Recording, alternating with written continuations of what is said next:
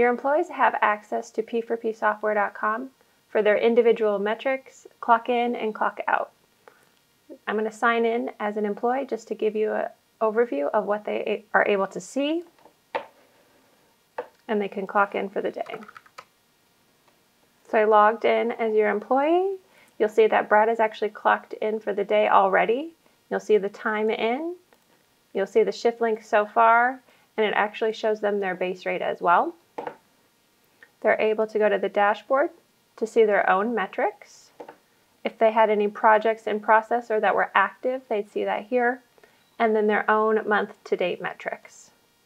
Dollars per hour earned, total budget hours completed for the month to date, and then their total labor revenue completed for the month.